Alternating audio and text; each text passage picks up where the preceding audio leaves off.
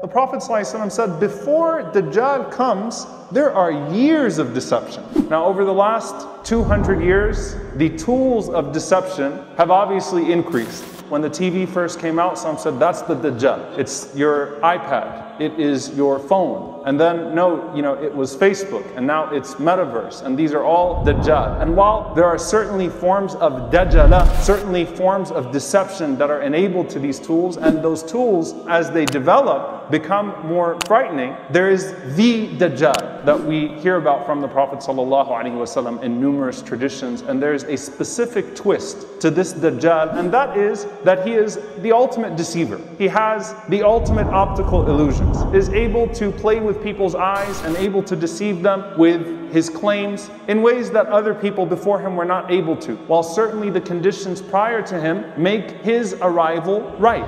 And what happens in those years of deception? The Prophet ﷺ said, a truthful person is called a liar.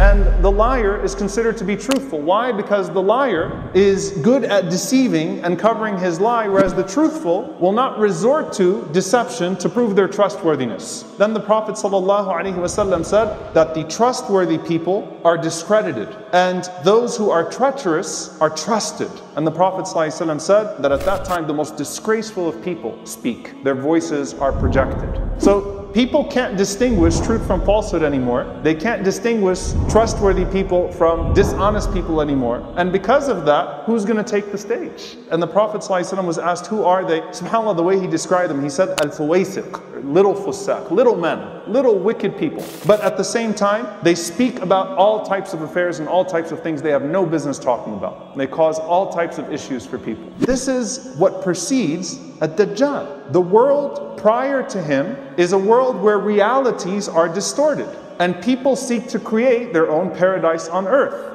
Our sensibilities are lost and our fitrah is compromised. Our natural goodness and inclination is compromised. And so people operate in a day and age prior to a Dajjal in vanity and they can't see past their immediate surface level vision. And as people become shallower, the tools to distort shallow realities become more advanced. So people can't see beyond the movies and the graphics and the tactics and that stuff right in front of them. They can't see beyond that. But at the same time, they trust it more. And the tools by which you can distort all of that are becoming more advanced. But then people treat their senses as divine, even though those senses are being constantly compromised. And if I can't see it immediately in front of me, then I'm not going to believe in it.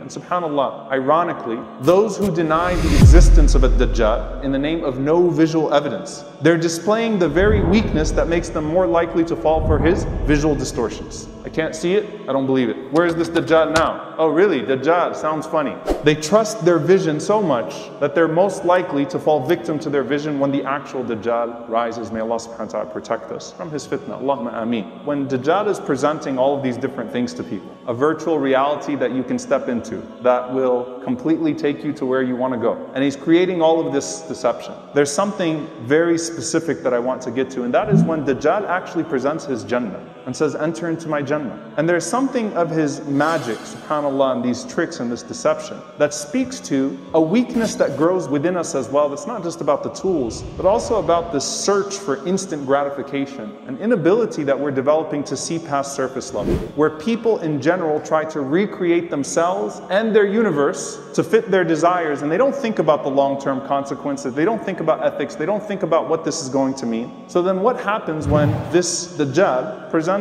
his Jannah and says, Here, you can escape, you can enter into this, and you'll have everything that you want. You don't have to wait for anything, just go ahead and step in. May Allah protect us. And the Prophet ﷺ said that he comes with Al Jannah, the appearance of a paradise, and he said that his Jannah is actually fire. His paradise is actually fire. And another narration, the Prophet ﷺ mentioned that he has these two flowing rivers, and there's no contradiction between the two. He's got these rivers of lava and burning and fire, right? And he's saying this is hellfire. And then he's got these rivers flowing you know, of musk and of milk, the image of which, he says, this is my Jannah. You know what the Prophet ﷺ said? He said, if one of you sees that, if you get into a situation where you're standing right in front of him, the Prophet ﷺ said, lower your gaze, close your eyes, put your head down and drink from the boiling water. And he said, I swear it will be cool water. His Jannah is not and his not is Jannah. It's flipped. SubhanAllah, like, don't be deceived by what's being put out in front of you like that. And people have to ask themselves what motivations and weaknesses the Dajjal preys upon that could be within us. The deception of the Dajjal cannot happen without the deception of dunya and the deception of the devil. The allure of dunya is one of zina, zinatul hayat dunya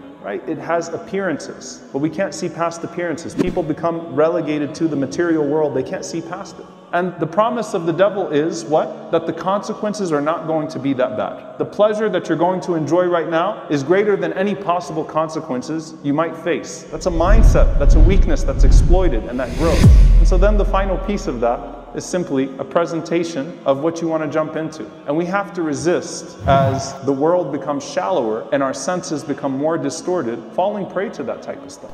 And thinking about the long term consequences and thinking about purpose when it's so easily diluted and thinking about why we exist when it's so easily diluted and thinking about the hereafter when we can't see it and we don't have 3D graphics or actors or movies and thinking about Al Jannah wa thinking about that meeting with Allah, thinking about that meeting with the Prophet, thinking about that idea of being held held accountable and thinking about that idea of reward and punishment. You gotta see through it all and remind yourself that I can't turn my senses into something that's divine, nor can I put my trust into tools that are becoming ever more deceptive and deceitful. May Allah protect us from all of the fitan that we are surrounded by, and may Allah subhanahu wa ta'ala allow us to develop that strong sense of faith and certainty that we see through deception, and that allows us to act in that which is pleasing to Him. And may Allah subhanahu wa ta'ala reward us for the best of our deeds and forgive us for our shortcomings. Allahumma ameen.